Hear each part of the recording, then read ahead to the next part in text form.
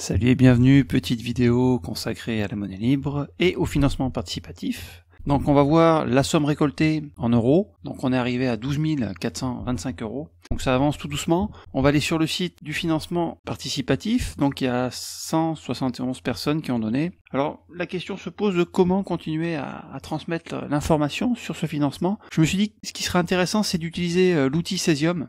Il y a actuellement 6861 membres. Et pour les toucher, je pense que la messagerie ici est vraiment le, bon outil.